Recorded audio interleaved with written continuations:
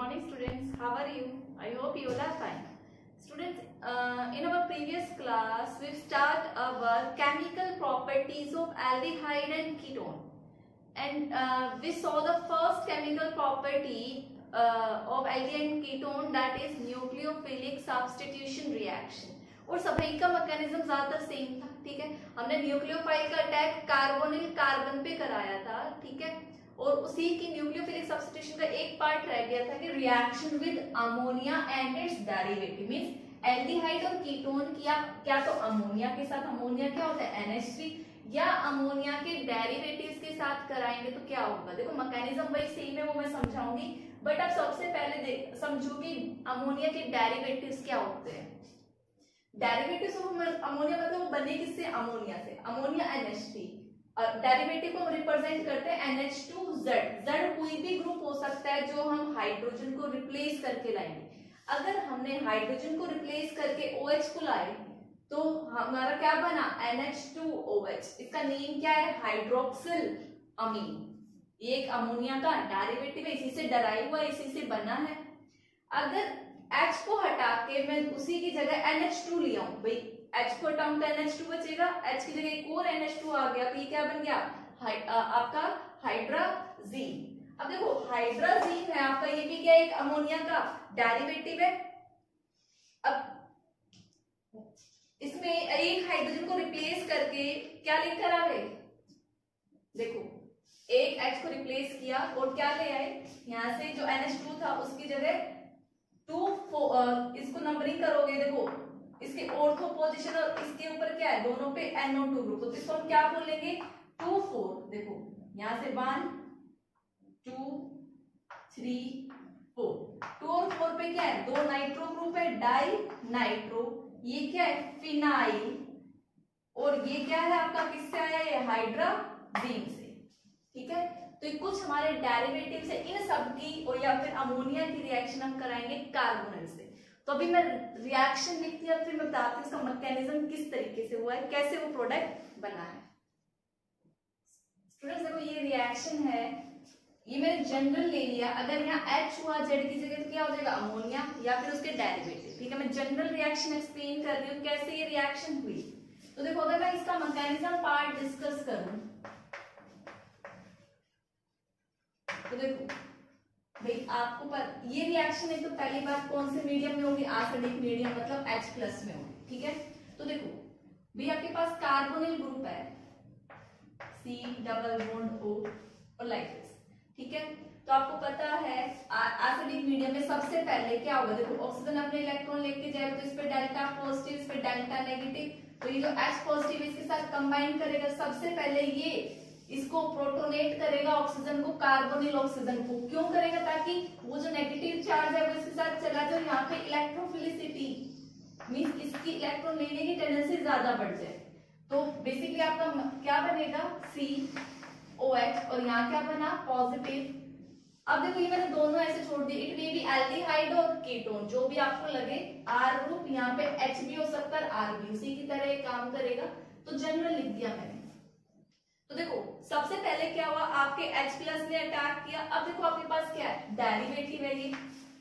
देखो derivative of ammonia NH2Z आपको पता है नाइट्रोजन पे क्या होते हैं? लोन पेयर होते हैं। यहाँ इलेक्ट्रॉन की कमी है नाइट्रोजन क्या करेगा? इसको अपने इलेक्ट्रॉन पेयर देगा और इसके साथ बॉन्ड बनाएगा। तो देखो ये कार्बन ये क्या हो गया? ओ एच यहाँ कौन आ गया? N N के पास क्या है? हाइड्रोजन है हाइड्रोजन है और Z है। और यहाँ पे ये दो वैलेंस जो है, ऐसे दिखा दिया मैंने अब देखो, इसने इसको इलेक्ट्रॉन पेयर डोनेट कर इसका पॉजिटिव चार्ज खत्म। तो नाइट्रोजन पे क्या आ गया? पॉजिटिव चार्ज आ गया। इतनी बात समझ में आई? ठीक है? अब आपको पता है नाइट्रोजन कभी भी अपने पर पॉजिटिव चार्ज रखना पसंद नहीं करेगा, क्योंकि हाईली इलेक्ट्रोनेगेटिव है। तो यहाँ से ये बॉन्ड तोड़ के ये इलेक्ट्रॉन इधर आ जाएँगे। यहाँ से क्या हो गया? माइनस एच प्लस निकल गया। तो यहाँ पे क्या बना आपका? C O H N H Z ठीक है? और ये इसकी दो वैलेंसी जो भी एल्डिहाइड कीटोन होगा, उसके कोरस्पॉन्डिंग अब देखो, ये जो ओ OH है, ये बहुत ही अच्छा लिविंग ग्रुप है। अब आपको पता है, जैसे अगर यहाँ पे ओ OH निकला तो ओ OH के साथ साथ क्या निकलेगा आपका? H भी निकलेगा, क्योंकि एच टू बहुत अच्छा एच टू निकलना पसंद करेगा। तो यहाँ से ये बॉन्ड टूटा। क्यों निकल रहा है? क्योंकि ये बहुत अच्छा लिविंग ग्रुप है। ये यहाँ से निकला तो यहाँ से क्या निकलेगा? H प्लस निकलेगा। H प्लस कैसे निकलेगा? ये नाइट्रोजन को इलेक्ट्रॉन पेयर देख के निकलेगा। इतनी बात समझ में आई? तो यहाँ से क्या निकल गया?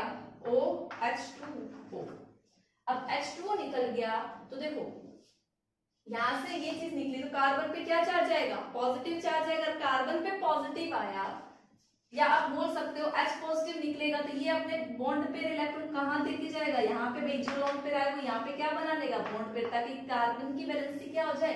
पूरी।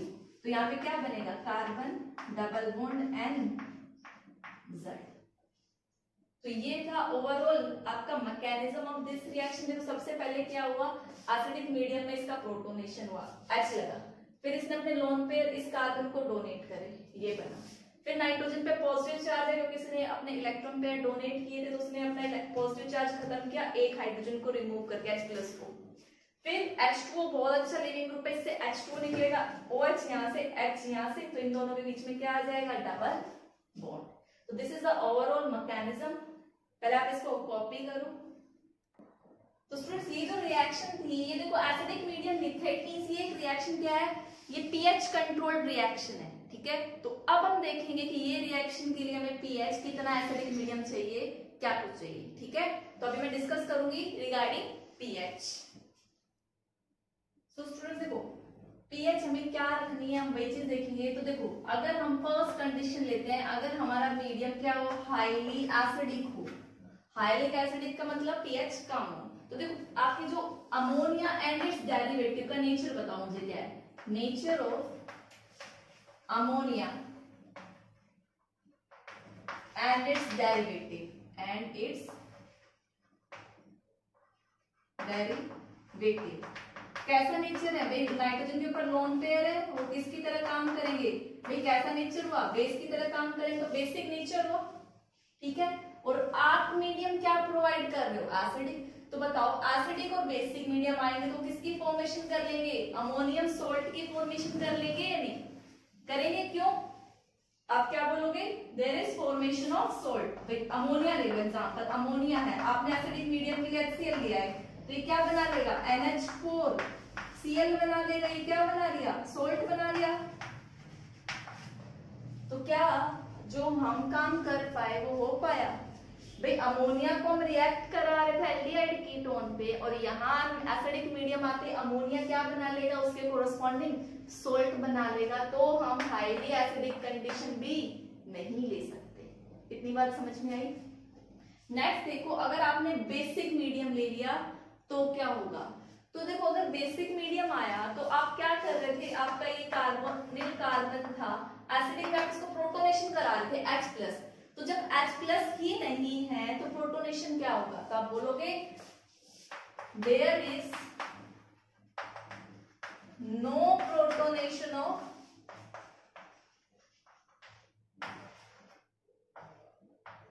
carbonyl oxygen जो कार्बोनिल की ऑक्सीजन है, जो इसमें नेगेटिव चार्ज आता है तो H प्लस क्या करता है? प्रोटोन प्रोटोन इसके साथ अटैच होता है प्रोटोनेशन करता है तो there is no protonation of carbonyl carbon तो इट मीन जो बेसिक मीडियम है ये भी हमारे लिए अच्छी नहीं है। मीन्स रिएक्शन तो किसमें होगी? एसिडिक मीडियम में होगी, ये फॉर श्योर है। बेसिक मीडियम में नहीं होगी। बट हम उसको इतना एसिडिक नहीं लेंगे कि वो सोल्ट बना ले तो इसीलिए हम यहाँ पे कौन से मीडियम यूज़ करते हैं? हम लेंगे अपना जो एसिडिक मीडियम ही लेकिन पीएच कितनी होगी? 3.5 ठीक है? तो आप बोल सकते हो ऑप्टिमम पीएच जो इसके लिए रिक्वायर्ड है, वो कितनी है? 3.5 जो ना ज़्यादा एसिडिक है, देखो पीएच से क्या है? कम है ये सॉरी टू से क्या है? कम है।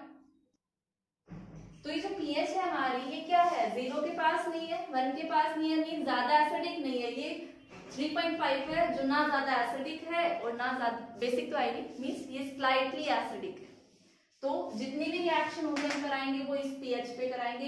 ये क्वेश्चन काफ़ी इंपॉर्टेंट है। एग्ज़ाम में पूछा जा सकता है कि जो ये डेरिवेटिव्स वाली रिएक्शन है, इसके लिए पीएच कितनी चाहिए? पीएच का एक्सप्लेन करो। तो आपको करना है हाईली एसिडिक में ये होता है बेसिक में ये होता है, दोनों ही कंडीशन हमें नहीं चाहिए।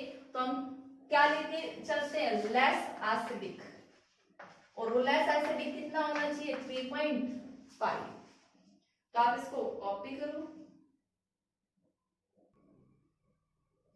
सो स्टूडेंट्स देखो, अब हम रिएक्शन पढ़ रहे हैं मैकेनिज्म पार्ट तो मैं आपके साथ डिस्कस कर चुकी हूँ, ठीक है? तो देखो रिएक्शन विद अमोनिया अमोनिया के साथ रिएक्शन कराओगे तो आपको याद रखना आपका क्या बनेगा? इमीन बनेगा, ठीक है?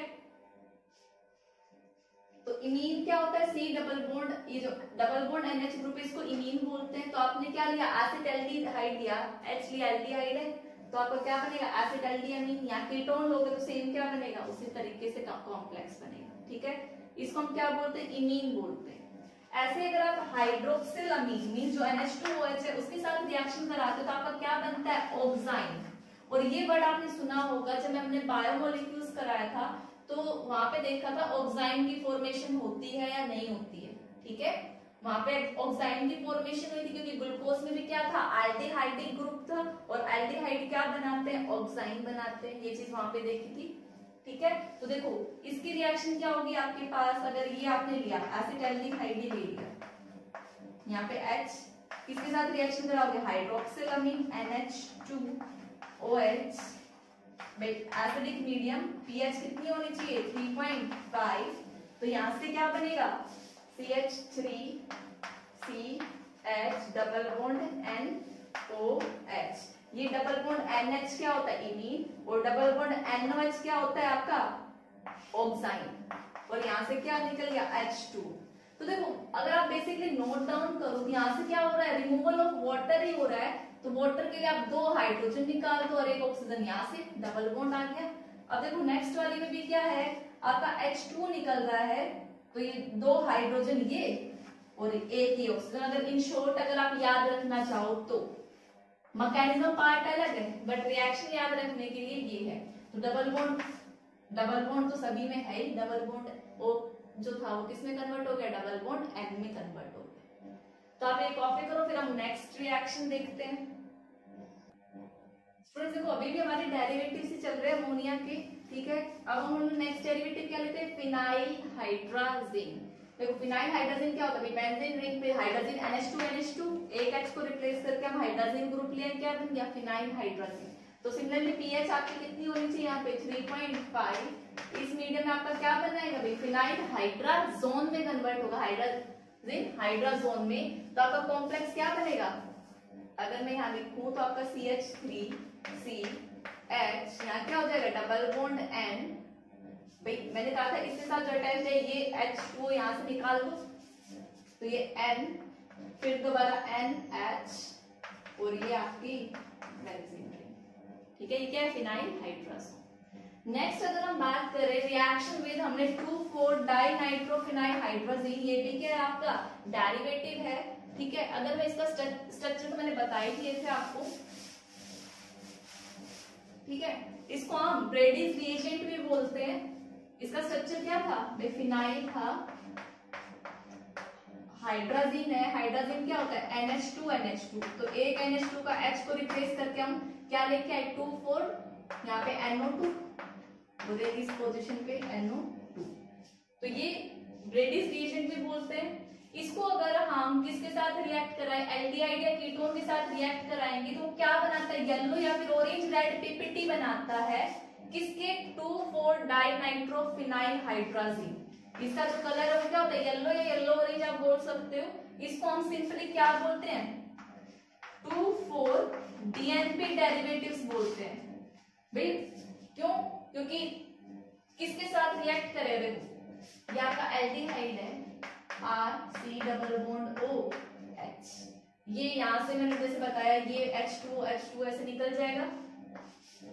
तो आपका क्या होगा? R C double bond O जो था, वहाँ पे क्या आ जाएगा? एन यहाँ पर ये एच एन एच तो देखो, और यहाँ पे आपका एनओ टू और एक आपका यहाँ एनओ टू तो आर ग्रुप कुछ भी हो सकता है बट जनरली इसका जो कलर होता है वो येलो या ऑरेंज रेड पीपीटी ये प्रेसिपिटेट बनाता है। तो सिंपली हम इस फॉर्म आर चेंज होते रहेंगे, उसी के अकॉर्डिंग इसका नेम तो किस कैटेगरी में क्या बोल सकते हैं इसको? टू फोर बीएनपी डेरिवेटिव कि ये टू फोर इतना पार्ट तो फिक्स है, आपका आर ग्रुप भी चेंज होना है तो ये क्या होगा? इसका डेरिवेटिव ही बनेगा।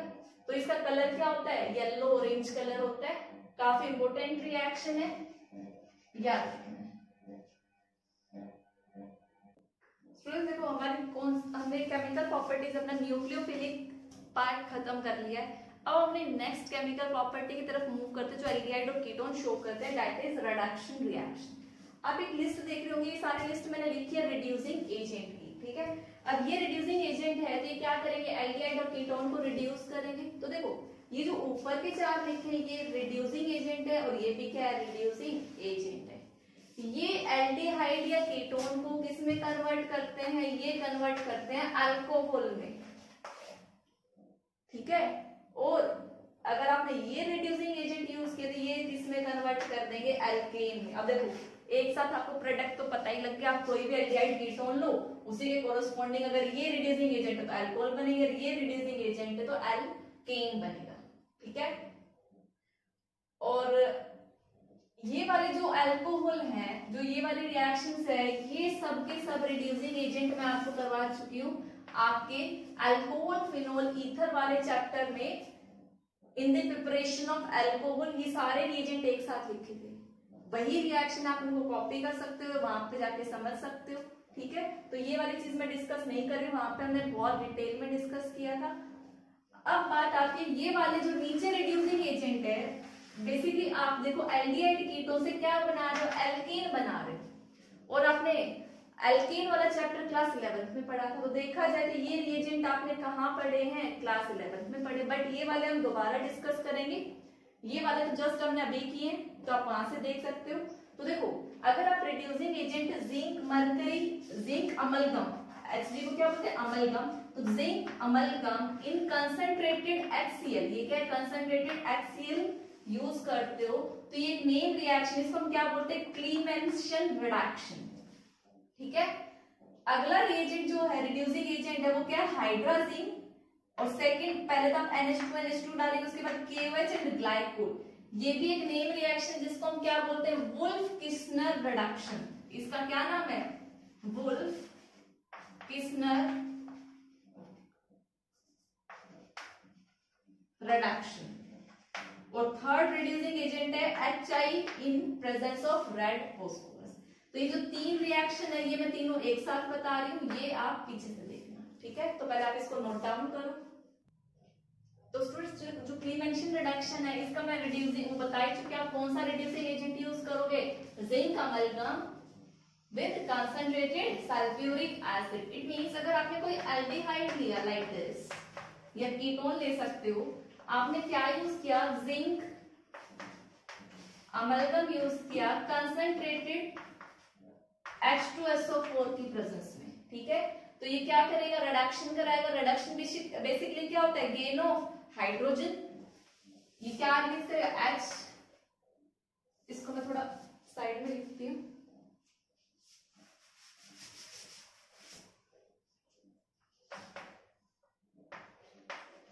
ठीक है? रिडक्शन रिएक्शन कराएगा कौन? इसकी प्रेजेंस में।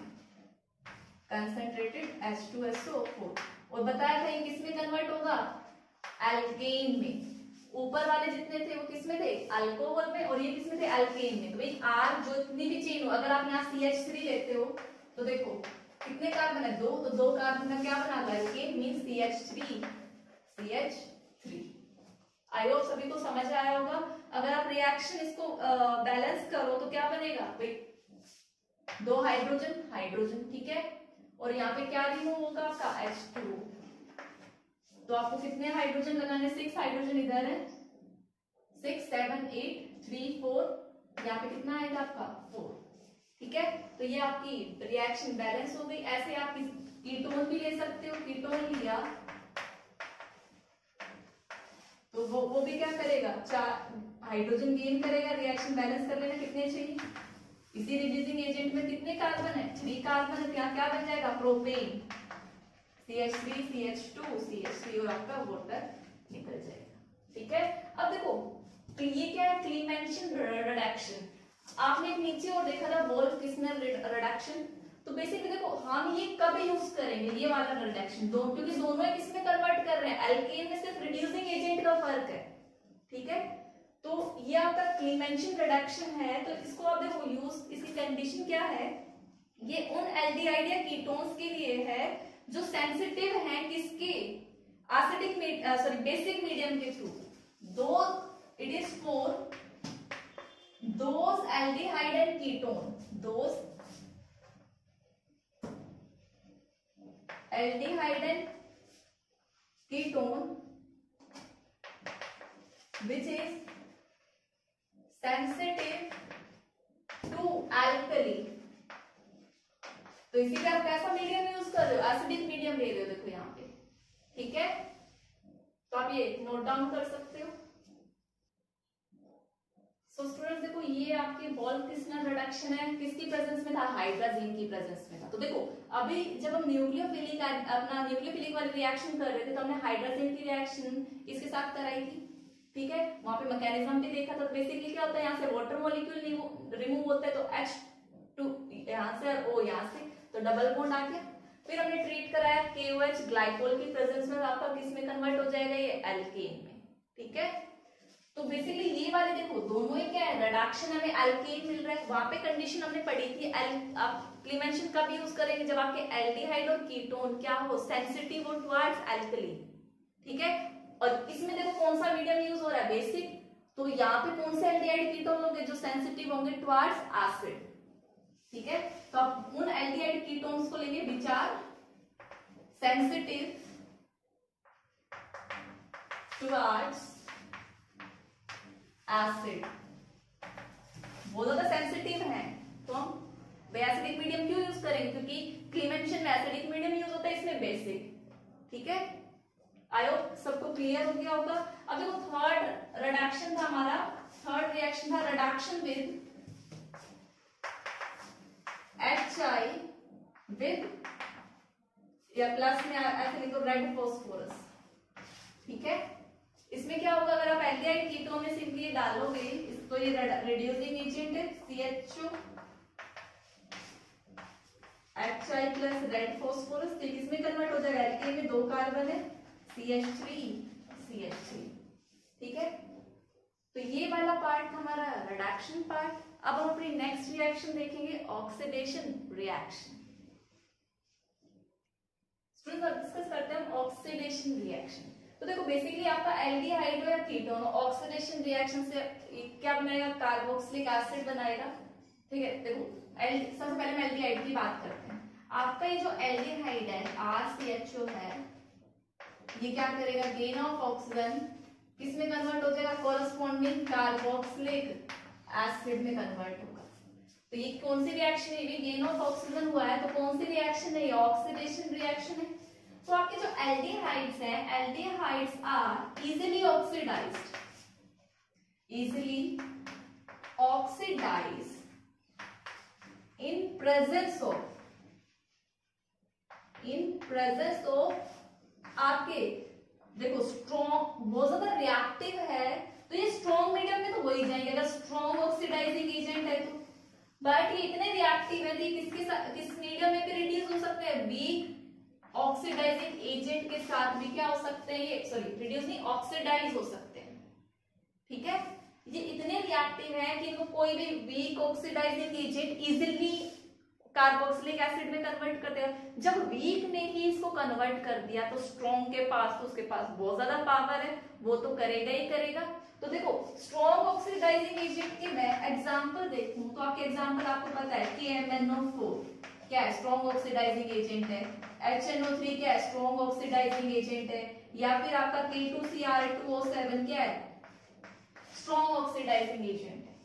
बट आपके टोलेंस रिएजेंट नाम तो सुना होगा, पढ़ा था हमने किसमें? बायोमोलिक्यूल्स चैप्टर में।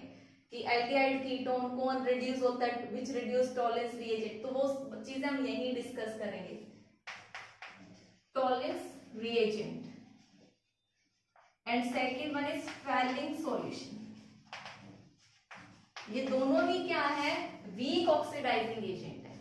और ये सारे क्या है? स्ट्रॉन्ग मतलब एल्डिहाइड चाहे स्ट्रॉन्ग ऑक्सीडाइजिंग एजेंट हो या वीक किसमें कन्वर्ट होगा? कार्बोक्सिलिक एसिड में कन्वर्ट होगा। बट वहीं पर किसकी बात करें? हम कीटोन की बात करें। कीटोन इजीली ऑक्सीडाइज नहीं हो सकता। कीटोन को ऑक्सीडाइज करने के लिए क्या चाहिए? विग्रस कंडीशंस आर रिक्वायर्ड बहुत ज़्यादा हाई कंडीशन आप बोल सकते हो। विग्रस कंडीशंस आर रिक्वायर्ड और विग्रस कंडीशन कौन कौन सी हो सकती है? क्या तो स्ट्रॉन्ग ऑक्सीडाइजिंग एजेंट हो? स्ट्रॉन्ग ऑक्सीडाइजिंग एजेंट या फिर क्या हो? हाई टेम्परेचर हो। मीन्स वो वीक में खुद को ऑक्सीडाइज नहीं करेंगे। अगर स्ट्रॉन्ग हुए like K M N four K two C R two seven H N O three तो क्या हो जाएगा? ऑक्सीडाइज हो जाएगा। बट अगर मैं वीक लू टॉलेस रिएजेंट ऑफ़ पहले तो कीटोन रिएक्शन शो नहीं करेंगे एल्डिहाइड शो करेंगे। तो बेसिकली ये जो दोनों टेस्ट हैं, ये क्या करते हैं? ये डिफ्रेंशिएट करते हैं बिटवीन एल्डिहाइड और कीटोन अगर किन्होंने रिएक्शन करके कोई रिएक्शन शो करे, क्या से करेंगे रिएक्शन वो मैं अभी डिस्कस करूँगी। इट मीन टॉलिस और फैलिंग्स एल्डिहाइड को क्या कर सकते ऑक्सीडाइज बट ये कीटोन को ऑक्सीडाइज नहीं कर सकते। तो आप पहले इसको नोट डाउन करो। तो स्टूडेंट्स सब, अब हम देखते हैं हम अपना Tollens test means basically test है to differentiate between aldehyde and ketones ठीक है? अब देखो टेस्ट क्या है? सबसे पहले तो हमें इसको हम सिल्वर मिरर टेस्ट भी बोलते हैं। क्यों बोलते हैं? ये चीज़ समझ आ जाएगी। तो हम पहले तो ये देखते हैं टॉलेंस रिएजेंट क्या होता है। टॉलेंस रिएजेंट होता है अमोनिकल सिल्वर नाइट्रेट सॉल्यूशन और ये हम फ्रेशली प्रिपेयर करते हैं। मीन बना बनाया नहीं रखा होता, हमें तुरंत बनाना होता है। और ये प्रिपेयर कैसे करते हैं? आप सिल्वर नाइट्रेट लो और आप क्या लो? NH4OH दोनों को जब आप मिक्स करोगे तो ये क्या बनाएगा? सिल्वर ऑक्साइड Ag2O बनाएगा और इसकी पीपीटी बनाएगा प्रेसिपिटेट जैसे टेस्ट में आपने ये दोनों चीज़ें डाली प्रेसिपिटेट बनाएगा, एक बार बनेगा बट वापस फिर से अपने आप क्या हो जाएगा? रीडिजोल्व हो जाएगा। एक बार बनने के बाद पीपीटी गायब हो जाएगा रीडिजोल्व हो जाता है। फिर आप NH4OH डालोगे तो ये एक कॉम्प्लेक्स बनाएगा। ये दिख रहा है आपको? कोऑर्डिनेट कॉम्प्लेक्स है।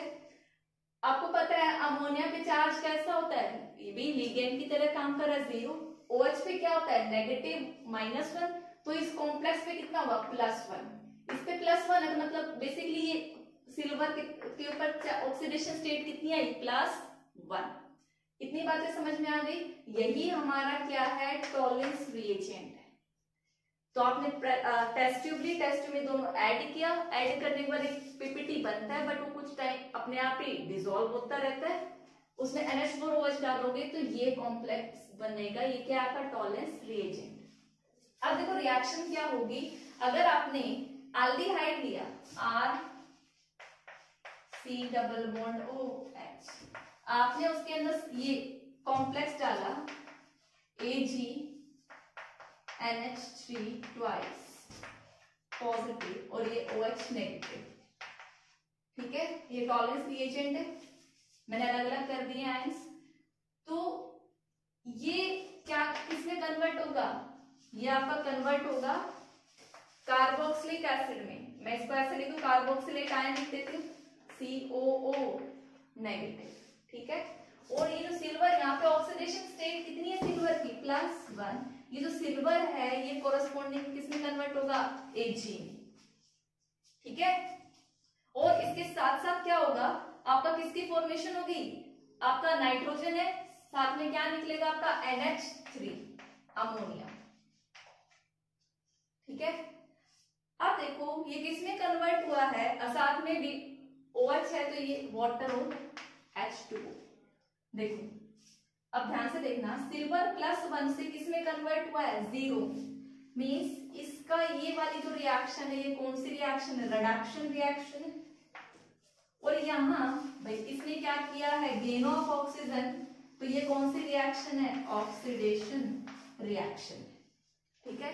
तो देखो, आप इस रिएक्शन को चाहे ऐसे बोलो कि जो टॉलरेंस रिएजेंट है, वो एल्डिहाइड क्या करते हैं? ऑक्सीडाइज करते हैं। या फिर आप क्या बोलो एल्डिहाइड टॉलेंस रिएजेंट तो क्या हुआ है? रिड्यूस हुआ है और ऑक्सीडाइज क्या हुआ आपका? एल्डिहाइड। तो आप ये बोल सकते हो, aldehyde reduce the Tollens reagent, या फिर Tollens reagent oxidise the aldehyde. दोनों बातें एक ही है। भाई, ये इसको क्या कर रहा है? रिड्यूस, और ये इसको क्या कर रहा है? ऑक्सीडाइज। ठीक है? तो देखो, ये जो सिल्वर है ये कैसी अपीयरेंस देता है? ये मिरर अपीयरेंस देता है। देखो सपोज़ करो ये आपकी टेस्ट ट्यूब है। टेस्ट ट्यूब में आपने क्या डाला? एल्डिहाइड डाला आर सी एच ओ डाला और इसके अंदर भी आर सी एच ओ डालने के बाद आपने टॉलेंस रिएजेंट डाला। दोनों सॉल्यूशन डाले। भाई रिएक्शन होगी तो ये जो टेस्ट ट्यूब की जो अपियरेंस है ना, ये आपको टेस्ट ट्यूब ऐसा दिखेगा जैसे शीशे की बनी हुई और आपको आपका फेस ही नज़र आ जाएगा। आप टेस्ट ट्यूब के चार तरफ़ देखोगे आपकी वहाँ पे मिरर सिल्वर वो सिल, आ, मीर, आ, आप बोल सकते हो मिरर अपियरेंस देता है। इवन आप टेस्ट ट्यूब में ऐसे देखोगे तो आपकी शक्ल नज़र आएगी। ठीक है? इसीलिए इसको हम क्या बोलते हैं? सिल्वर मिरर टेस्ट बोलते हैं। इतनी बातें समझ में आई? अब देखो ये जो टेस्ट है ये कौन पहले इसको कॉपी करो। तो स्टूडेंट्स देखो, हमें ये पता लग गया, इसको एल्डिहाइड जो है, वो शो करेंगे इस टेस्ट को। एल्डिहाइड क्या करेंगे? इस टेस्ट को शो करेंगे। लेकिन यहाँ पे क्या हुआ? बोथ एलिफैटिक इसको रब करो। Both aliphatic as well as aromatic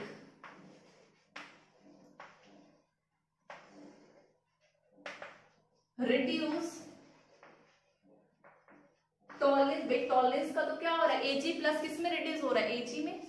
और वो सिर्फ़ एजी क्या देता है? Silvery appearance reduce Tollens reagent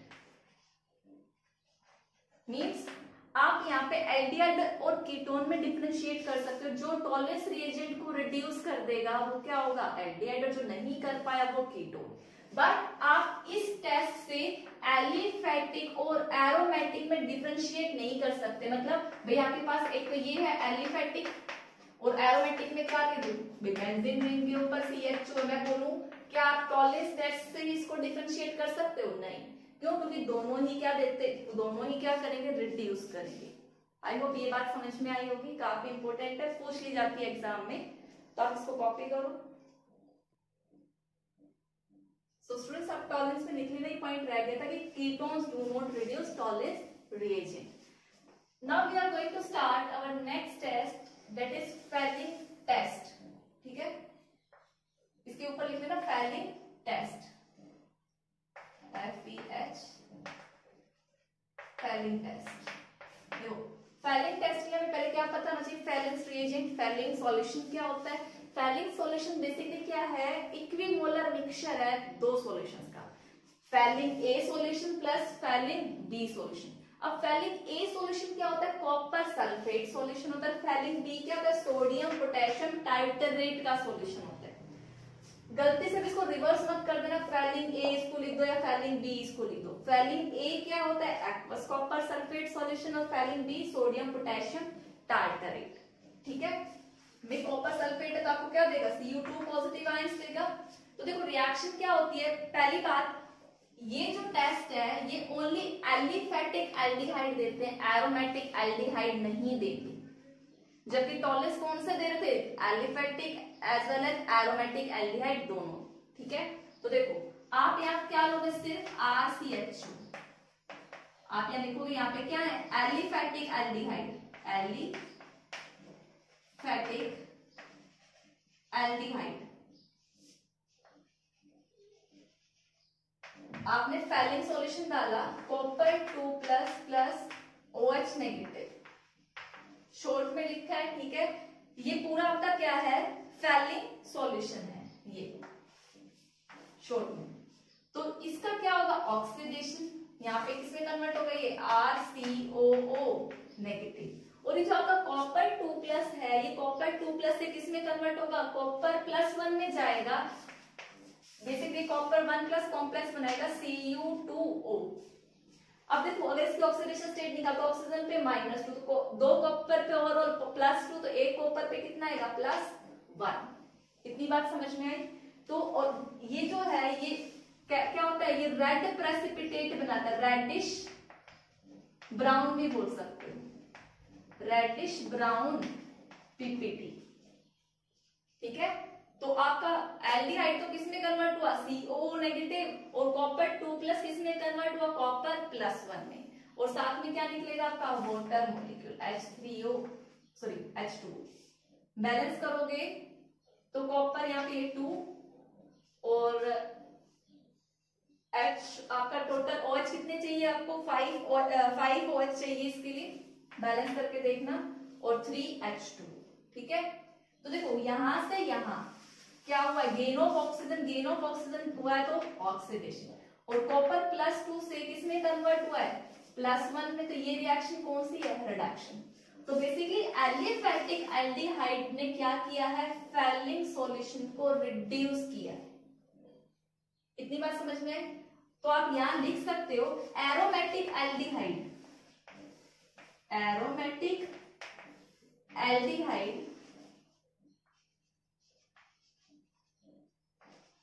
do not reduce क्या? फैलिंग सॉल्यूशन भाई एल्डिहाइड है लेकिन एरोमेटिक बेंजीन के ऊपर अगर सीएचओ लिखा हुआ एल्डिहाइड आप लोगे तो वो फैलिंग सॉल्यूशन उसको रिड्यूस सॉरी फैलिंग सॉल्यूशन उसको ऑक्सीडाइज नहीं करेगा। मतलब वो फैलिंग को रिड्यूस नहीं करेगा। दोनों ही बातें एक है, ठीक है? अलग तरीके से बोली गई है। तो अगर आप फैलिंग सॉल्यूशन ले रहे हो फैलिंग ए फैलिंग बी और आपने एलिफेटिक एल्डिहाइड लिया तो आपका रेड रिजल्टेंट जो आपकी टेस्ट ट्यूब होगी, उसमें आपको क्या नज़र आएगा? रेडिश ब्राउन के प्रेसिपिटेट बनने शुरू हो जाएँगे। अगर आपको रेडिश ब्राउन प्रेसिपिटेट दिख गए तो इट मीन उसने फैलिंग सॉल्यूशन को क्या कर दिया? रिड्यूस कर दिया। टॉलेंस में क्या था? सिल्वरी अपियरेंस आती है। फैलिंग में रेडिश ब्राउन पीपीटी बनते हैं। कीटोन तो ना टॉलेंस टेस्ट देता है, ना फैलिंग टेस्ट देता है। टॉलेंस एल्डिहाइड देता है both aromatic as well as aliphatic और फैलिंग को कौन देते हैं? ओनली एलिफेटिक देते हैं एरोमेटिक नहीं देते हैं। ठीक है? तो ये थी हमारी ऑक्सीडेशन रिएक्शन बेसिकली एल्डिहाइड का क्या हो रहा है? इनमें ऑक्सीडेशन हो रहा है। ठीक है? हमारी एक ऑक्सीडेशन रिएक्शन और बचती है हेलोफॉर्म रिएक्शन वो हम कल की क्लास में डिस्कस करेंगे। That's all for today's lecture. Thank you and have a nice day.